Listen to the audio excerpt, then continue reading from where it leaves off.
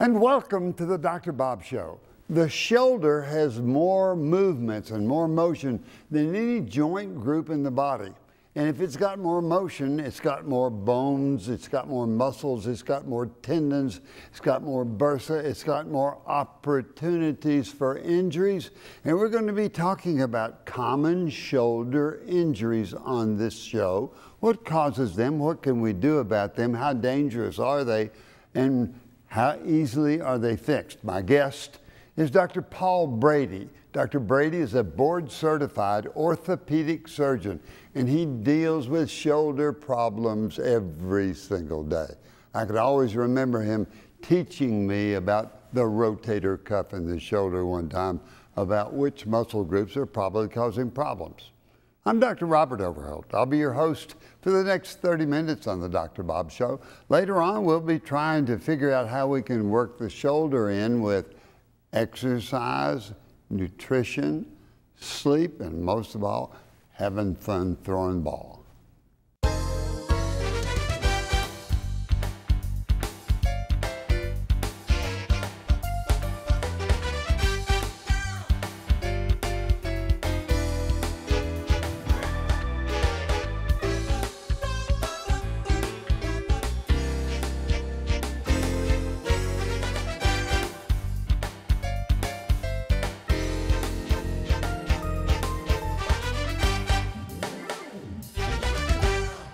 Talking with Dr. Paul Brady, board certified orthopedic surgeon, and we're talking about the shoulder and the many problems that it can have. Paul, welcome to the Dr. Bob Show. Thank you for having me. I appreciate being uh, here. It's my pleasure. Tell me, why is the shoulder so important? Well, the shoulder, you know, we use it for our daily life, and it's really what differentiates us from, from all the other animals out there, that we have functionality in our upper bodies to do pretty much anything. So the shoulder is pretty critical to our existence. Is it easy to injure the shoulder then if it's so critical and moves around and throwing and catching and, and pulling and doing everything that we do? Hurt easy? That's the problem with it. You know, it's a plus minus. I'm glad we have the shoulder, but because it has so much motion and so much functionality, it's prone to injuries. It's got more motion than any other joint in the body by far, and therefore it's very complicated. And because of that, you can have injuries that occur in the shoulder that are very debilitating for patients. So Uh, are there lots of muscles and lots of tendons? There sure are. In total, there's about 17 muscles wow. that work together. And I, I, tell patients, I think of it like an orchestra. And if you, the or, if every instrument is working perfectly and on tune, it sounds beautiful. It works perfectly. But you get one or two out of tune. Those are the only things you hear. So it doesn't take much in the shoulder to really make it painful. When I think of shoulder injuries, I think of different age groups, and athletes have trouble with their shoulders, baseball, football. Uh, people have dislocation, people fall and hurt their shoulder on the playground, even at an earlier age. And then as we get older, the muscles sort of dry up on us and, and tear right. easier. Right. So, what the, uh, tell me about a rotator cuff. What, what does that mean? So, the rotator cuff is a group of four muscles in the shoulder. They're the largest and the strongest muscles in the shoulder. Now they're deep. You can't see them. When I look at you, I can't see your rotator cuff, but it's down deep in the shoulder and they attach to the top of the arm bone, the four of them.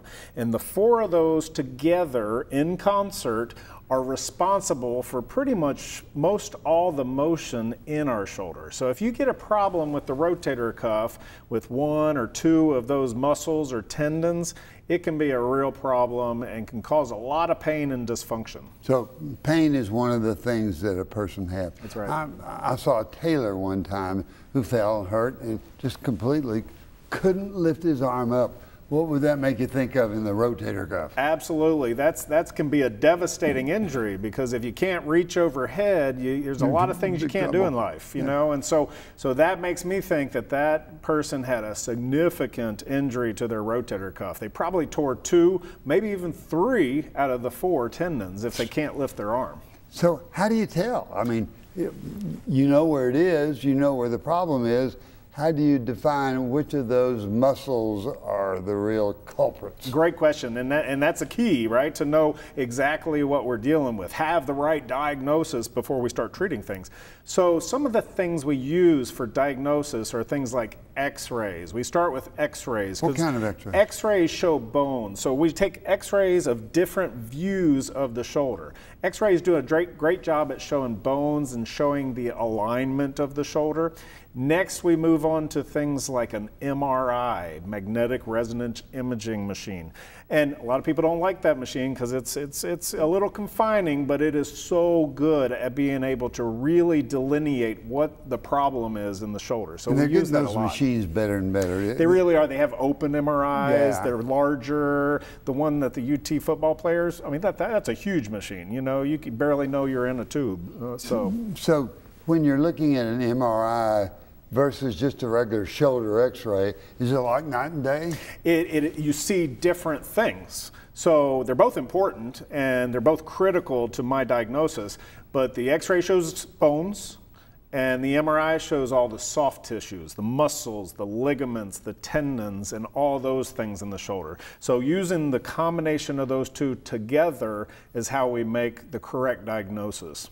Now, it's my understanding as people get older and the muscle sort of dries up a little bit, you have frequent little tears maybe. Are they usually in the tendons? Are they usually in the muscles or where are they? They're typically in the tendons, and my thought process is like a, uh, a rubber band. If you have a rubber band, as long as you stretch that rubber band every day, probably going to stay pretty healthy for a long time. But if you put a rubber band in a drawer and you don't touch it for a while and you pull it out, it's going to break in half. So that, that really, I tell patients all the time, it is so important that we stay active and we stay moving and we stay healthy in order to keep things as healthy as possible.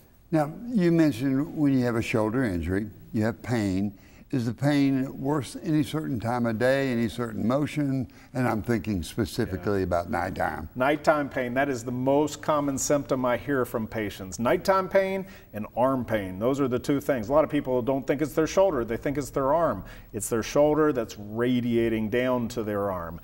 The reason it hurts at night are twofold. Number one, your body has nothing else to think about at night except for where the problems are. Okay, so during the day you're too busy, you're active, but at night your body can really concentrate on the problem. So that's one reason. But the main reason is because at night we lay flat, which takes gravity out of the situation. And gravity pulling the arm down actually makes the arm feel better. Ah, so when we don't have gravity, everything kind of hikes up and the pain becomes much worse at night.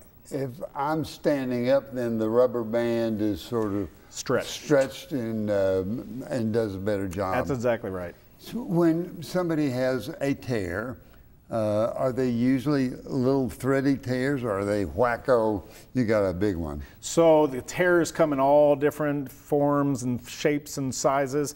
And frequently we have, we differentiate between what's called an acute tear, an injury, you get pulled by the dog or you fall down the stairs. That's typically a very sharp tear versus a chronic tear. So little injuries over time, football, baseball, all the injuries that you had when you were in high school, plus the ones you had when you were in middle age, and then those add up to what's called a chronic tear, which can be more uh, difficult sometimes to treat.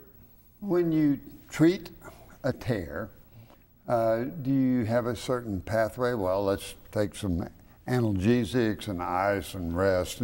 What, what do you tell the patient? And then what kind of physical therapy? And then when, how do you know when surgery is needed? Exactly. So frequently I'll tell patients we have five options. You can live with it, you can treat it with medicines, which may work for a little while, but it's not going to fix anything. You can treat it with shots, steroid shots. And for certain tears, it works great. It really calms down the inflammation, allows them to rehab better and get better without having surgery. The next is therapy. You can do therapy on the shoulder. Now, therapy won't fix a tear if it's a full tear, but therapy can help all the muscles around the tear and help you live with a small tear. And then the final option is surgery. Some patients have tears which really aren't going to do well with those other four, and they need to have surgery to have it fixed. Is it a need for surgery that eventually, hey, we've tried everything, we're going to have to do surgery. Is surgery uh, effective, and are is there can it be done arthroscopically? Great. It, it absolutely it can be done arthroscopically. And that's what we're going to be talking about when we come back. It can absolutely be done arthroscopically. Well, that's great. Uh, let's see how and what we do and what the results are. We're talking with Dr. Paul Brady, board certified orthopedic surgeon, and we're talking about the shoulder and how easy it is to hurt the shoulder. And we started talking about the rotator cuff, some muscles that make the shoulder wiggle and do what we want it to do. Uh, different muscles, different tendons, different tears. Uh, we talked about physical therapy. We talked about trying to get the shoulder better, and then we decided sometime we might need surgery. And we talked about arthroscopic surgery. Correct. You can do that on the shoulder. Absolutely. There's, there's really almost nothing except for arthritis. It's tough to fix arthritis arthroscopically, but pretty much everything else we can address arthroscopically, which means minimally invasive, small incisions, no big incisions. It's an easier surgery from a pain standpoint. It's a it's a it's a easier surgery from a recovery standpoint as well. So I take it before you start on the arthroscopic surgery that you've made the diagnosis with the x-rays you know which muscle group or which tendon group is causing the trouble that you're going to have to repair. So walk me through somebody with a rotator cuff and arthroscopic surgery. So we start the surgery by just looking inside the shoulder with the camera and taking a tour of the entire shoulder. Okay, right, I want to see everything because you can't get better diagnosis than actually mm. having eyes on it. Yeah. Right? MRI is great and X-rays are great, but nothing is better than having your eyes on the problem. So we'll diagnose first, and then methodically we'll go through the shoulder and fix things as we come to them. And the way we repair the rotator cuff is we use these things called anchors. They're small screws that go into the bone. They're actually bioabsorbable, so your body just absorbs them over a couple years. And we use those to uh, use sutures to repair the tendon back to the bone and then your body heals that back where it belongs. So you have a fixer screw right. that lets you then grab hold of the tendons or the muscles. That's exactly what we do. Exactly. Sounds simple. Yeah, yeah. I'm, I'm, sure it's not. It's a little complicated, uh, but it works. advances, and um, you've been involved with advances in the technique and the material used. Tell me about that. Well, I've been very fortunate to be involved with an mm. orthopedic sports medicine company, and I've, I've got six patents on oh. products that we use in the shoulder, and actually several of my products are used in the knee as well. But they're products that we've used and we've, we've developed in order to better fix the tendon to the bone so that our repair is stronger. And so we're getting better and better at that every year. It's really exciting. So if you repair a rotator cuff, how long does it take to get better and what kind of therapy is needed before the person is able to go out throw a ball or cause trouble again. Well, I have to say, this is the downside, right? The surgery's getting better and faster and less invasive and less painful, but the rehab still takes a long time. And, and I tell patients it's three phases of recovery. Phase one, just relax let things heal for the first month, okay? Don't overdo it.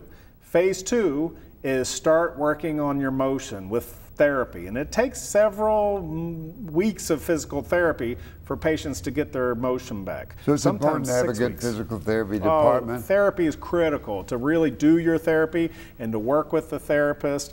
And then the last phase, the third phase, is more therapy for strengthening that's usually when people really turn the corner and feel like they're getting a great shoulder again, is when they build strength in the shoulder. It must be great when the person goes through those phases and they're doing well and they say, hey, I'm going to shake hands with you and show you how strong my shoulder is. It's, it's wonderful. I love my job. Now, I'll tell you, at three months, most patients give me that crooked eye. Are you sure that we did the right thing? But by four to five months, they usually bring me cookies and they're very happy with their shoulders. Isn't, so isn't that a great feeling? It's a great feeling, yeah, yeah. Let's switch a little bit. Let's talk about a frozen shoulder and then we'll talk about separation dislocation? Great.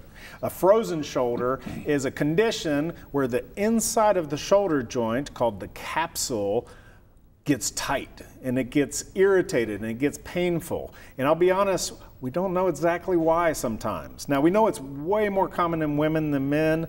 Uh, diabetics get a much worse case of it, but it's a very painful condition where you not only have pain, but you lose a lot of motion in the shoulder. The good news on frozen shoulder 95% of the time we can treat it without surgery. So, how do you treat it? Cortisone shots uh-huh. to calm down the inflammation, uh-huh. and then pretty aggressive physical therapy. They've got to really push you in order to get your motion back. But if the combination of those two is 95% successful at avoiding surgery.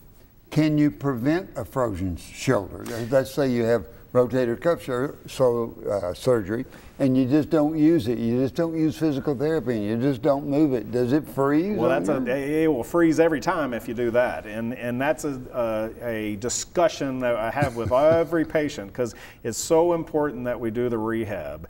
And if you just have a spontaneous frozen shoulder, it's important to see a doctor soon. Don't let it get to where it's tight as a drum, you know, get to the doctor when it's just starting to uh, get tight and painful. And if you get to the doctor earlier, you're, you'll, get, you'll recover much, much faster. If it's spontaneous, if you get it all of a sudden, uh, is it painful? It's one of the most painful conditions. Okay, so say I got to go to the doctor to get it fixed. Absolutely. Let's, let's talk about dislocation and separation of the is there a difference? So there is a difference. Dislocation means the ball comes all the way out of the socket. Ah. if you truly dislocate you're probably not getting it in by yourself. You're probably going to have to have a trip to the emergency room. Those type of injuries happen with accidents like falls or, or in younger patients collision sports football or they're sliding into home plate and they dislocate their shoulder uh, whereas a separation means that it, it moves, but it doesn't go all the way out of socket. So a separation is not quite as severe as a dislocation. Once you have a dislocation, is it easier to get a second dislocation and have your shoulder pop out? It sure is. In fact, in fact, young patients, our current recommendation is as soon as you dislocate one time, you ought to get it fixed because there's a 90 plus percent chance that you'll redislocate and do more damage. Now, once you get to the age 40, 50, the redislocation rate is much less. So those patients we try to treat with rehab and, and exercises and therapy to get them a better shoulder. So surgery early, what do you do to keep it from popping out the second time? So the reason it pops out is because the ligaments are loose I think of it like a hammock, and if one side of the hammock is broken, it's really hard Boom. to hang in the hammock, right? I mean, you can you can hang there, but as soon as you fall asleep, you fall out of the hammock. So what we need to do is we go need to go and tighten those ligaments so that the ball sits right in the middle of the socket the way it ought to. You do that arthroscopically also? That's correct, yeah, so arthroscopically. Everything's pretty much done arthroscopically. It really now. is, except for treating arthritis, we can treat almost everything else arthroscopically. Do you have to use any of those new fix-its to fix it to uh, get the shoulder where it doesn't stay so loose? We do. We use anchors and we use sutures in order to repair everything, but the technology of those uh, anchors and sutures has really come a long way, and so that's exciting pretty good results from a dislocation repair. 95% of patients will never dislocate again once we get them fixed. Must so be fun being a, sh a, shoulder results. surgeon. It is a lot of fun, thank yeah, you. And uh, it's great listening to you talk about those.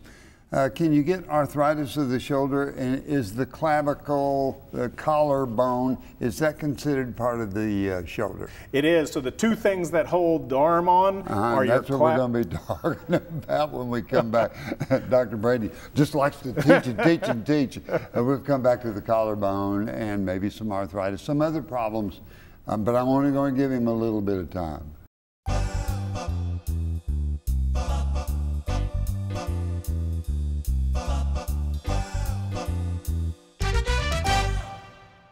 We're talking with Dr. Paul Brady, board certified orthopedic surgeon, and we've been talking about rotator cuff injuries and other problems in the shoulder that can almost all be fixed now arthroscopically where you've got better vision and better control of what you're doing. And as Dr. Brady said, there's nothing like being able to look in the shoulder. X-rays are good, but being in there looking at the real tissue is a key to improvement. And it's amazing to me how many people do so well after shoulder surgery. Now, we talked about the clavicle. That's the collarbone. That's Right. the little bone up here. Is it easily broken and is it hard to repair or do you just let Mother Nature do it? Well, it's it's it takes some force to break a clavicle, and it's frequently younger patients who still think they're invincible, and playing sports and mountain biking, and they have an injury where they have a significant force that breaks the clavicle. Now. Whether it needs surgery or not really depends on how far the parts are displaced or shortened. There's a few things we look at on x rays. Fixing it is pretty straightforward. We, forward. we put a plate and some screws into the bone to hold the bone in position, and it usually heals very well when we do need to fix it. For a 25 year old, young, healthy, active, uh, they break their collarbone. How long does it take the bone to heal? So total healing probably takes four to six months, but you can't stop them by month number two or three. I mean, they are ready to go because it feels so good. So I tell patients, even though you feel great at month two or three, don't go crazy until month four to six because that's when it's really healed. Uh, So, four to six months. Uh, arthritis of the shoulder, we were talking earlier, that sometimes is difficult. Arthritis is a tough problem. You know, we don't we don't uh, we don't have the all the answers for arthritis, but we certainly are doing a lot better than we've ever done before on treating arthritis. So, do you clean up the joints? You, if they're all spiky and gravelly, you, you clean it out and then you use medications and physical therapy? What? Sometimes a clean out does work, an arthroscopic surgery. If they have mild arthritis and we can just clean, smooth the rough surfaces, sometimes that's a very effective surgery. But more often than not, they may end up needing a shoulder replacement. That means taking the arthritis out and replacing it with a metal ball and a plastic socket. Can you do that arthroscopically? No, I wish we could. That, that, that'll be in the future maybe. But right now, we still have to do an incision to, to do it that way. Recovery time for a replacement? Well, most patients feel better very quickly within a week or two from the pain, but the recovery still takes a long time to allow everything to heal, then to work on motion, then to work on strength. So I would say right in the three to four month range for them to be feeling good, and six months before they're feeling really good.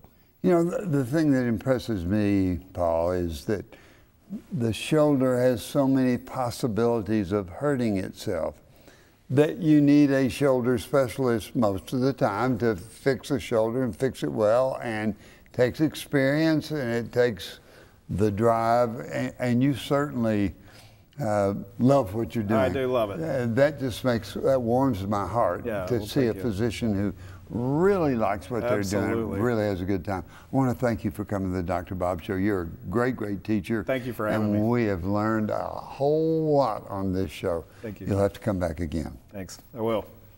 Let's look at the shoulder and see what the shoulder can do as far as those four things we like. Number one is exercise. Well, the shoulder is responsible for every time you lift and you pull and you wiggle. So you got to have a good shoulder. When it hurts you, it hurts your ability to exercise. But also, we can work on our shoulder frequently to strengthen it so it won't get injured. And when we exercise, we feel better. It makes us relax. It will lower the blood pressure. It makes our whole body better. So taking care of your shoulder is part of taking care of your body. Be sure that we eat, eat properly. You know, if we eat poorly, then the shoulder's not going to have a chance to have its tendons and muscles to get strong and to grow well. So think about your shoulder when you're eating and be sure you're eating enough protein in your diet and that you're eating less calories and better food. Uh, in America, we have a problem sometimes with obesity. We eat too much and we don't exercise enough. So be sure you exercise, use your shoulder when you exercise, uh, and have fun with your next door neighbors. Pitch a ball as you're walking, but get your tennis shoes out and get walking. We need to do that at least 30 minutes, and we need to do that four, five, six times a week. No reason we can't do it five or six days a week. Seven and a half hours sleep. You know, the shoulder will keep you uh, from sleeping well because it hurts at nighttime. So if you've got a bad shoulder, you're going to have to get it fixed. Uh, it's one of the common causes for people not being able to sleep well. If we get seven and a half hours sleep, if we get rest for our body, our brain will function better. We'll be happier. We'll be less irritable. The people around us will be happier. Uh, the fog over our head won't, won't be there. So be sure that you're getting seven and a half hours sleep. And most of all, what do we like in the Dr. Bob Show? It's that laughter in your life. You know, can you make somebody happy? Can you fix happiness? Yes, you can. You know, you can talk to people, you can joke, you can tell funny stories, you can look at pictures, you can read books, you can watch television. There's lots of things that you can stimulate your mind to be happy. But the best thing is to get together with your family, with your loved ones, tell stories, and tell how you messed up on certain things, and just laugh and laugh and laugh. And if you stay happy, you'll stay healthier.